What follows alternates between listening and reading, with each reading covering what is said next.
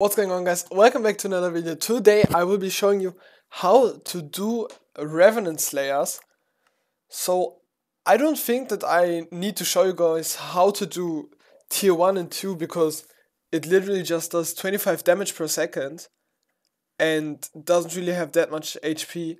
So let's just start with tier 3 I guess, because why not? So the setup that you want to use is really it doesn't matter what you're going to use because it does like no damage. So I just put on some werewolf armor which is even half necrotic. Yeah. And just go ahead right down here. So let's just start. I've already uh, killed some but I've decided to switch the lobbies to a private lobby because otherwise it's just going to be very annoying with other people killing all those revenants and as you can see it got one hit the mini boss and let's just use our ability.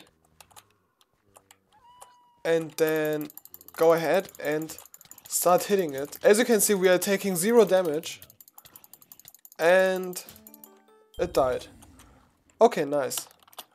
So for doing a tier 4s you can just let everything the way it is. If you have a bit better armor you should use that because it's going to take a bit long killing it otherwise because it has uh, 1.5 million HP. So let me just turn off Auto Slayer. Yeah, 400 damage per second and 1.5 million damage. So I'm just going to use the Flower of Truth for this. But I think it has Sharp. No, it even has Smite. Okay, nice. And these two pieces of werewolf leggings are necrotic. That's why I'm going to switch them out for two pieces of uh, crimson. Just so we do a bit more damage.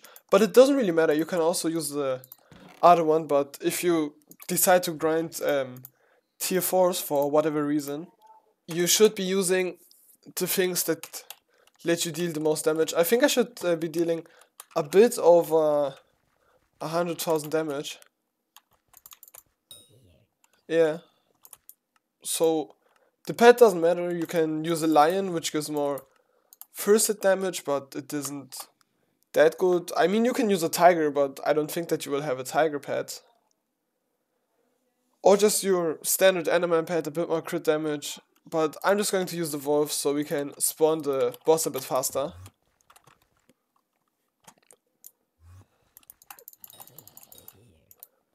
Also the ability is uh, really useful because you can kill multiple at once. The mini bosses aren't really a big deal. You should be easily able to kill those. Yeah. Also, I think you can use a bow on T4s, but I'm not sure. Yeah, so it just got one hit. Nice. T4s are really, really easy. And I think one more mini and then it should spawn, I guess. Takes kind of long to spawn to be honest. But doesn't really matter. Let's just spawn it right here. Okay, it spawned and just start to hit it and as you can see I'm taking zero damage and the thing is going to be dead. And it even dropped Foul Flesh. Nice. I think that's even profit. I don't know. Yeah, so this is really easy. But the tier 5s are a bit more difficult. So what you're going to do for tier 5 is that you want to use the Reaper armor. Reaper armor. Or you can use your uh, Necron. Oh wait. You can also use your Necron if you have that one. But Reaper is a bit cheaper, I think, I'm not too sure. And it should be way easier because as you can see, it gives a bunch of defense against the mobs. And when you sneak, you gain 100 speed, 100 damage, and 100 uh, strength for 6 seconds. And if you're using the full set, your wand will heal 50% more. You will get 100 um, what's called 100 defense against zombies and you will deal 100% more damage to them but you will deal 1% damage to everything else. So yeah uh, the full set's only shoes leggings and chestplate yeah. So there's no there's no helmet. You can use anything you want. I guess you can even use a warden helmet if you have one. But i think i'm just going to use this set right here.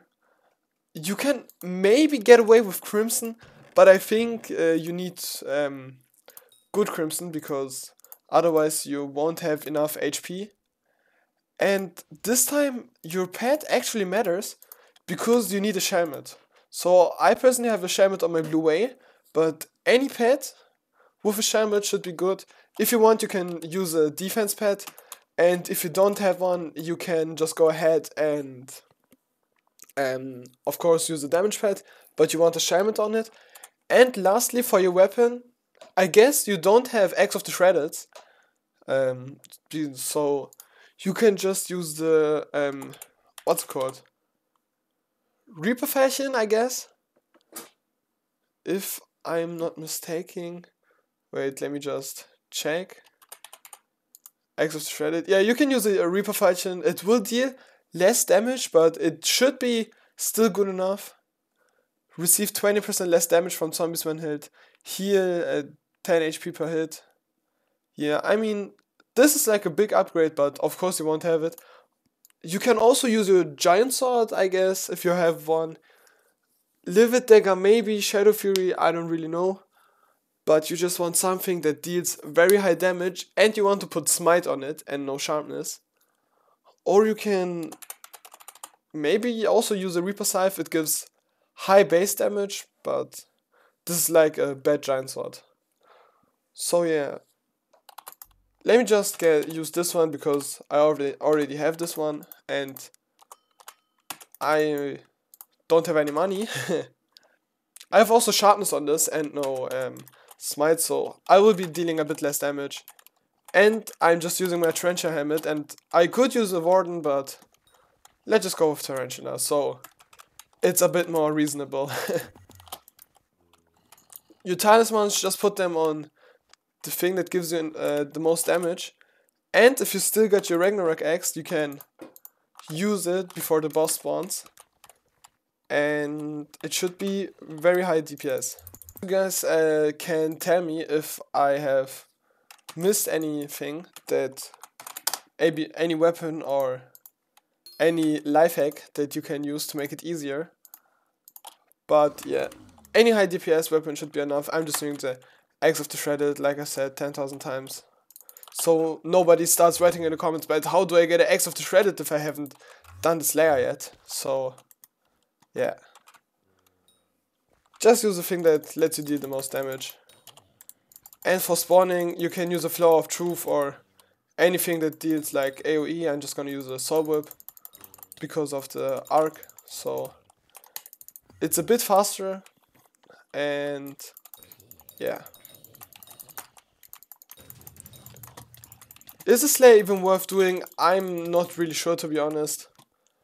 I think Warden hearts shot up in price because you can't uh, trade them anymore. Um, uh, you can't do any Slayer trading. Yeah, as you can see, 140 million coins and the helmet is at 173 million. So I bought mine when it was like a bit over 100 million because back then you could trade them. And what's a blue damage thing? I don't know. So, yeah, let's just spawn it real quick. Wait, I think this should be... Yes, this is already it. So... Now it cast it. And then... You don't want to get hit by the TNT because the TNT is gonna kill you really, really fast. And that's why we are also using anti-KB. Shelmet, don't use Hex. What? Where did it go? How? Eh? Huh? How's it hitting me? Where even is it? Bro, I'm going to start a new one.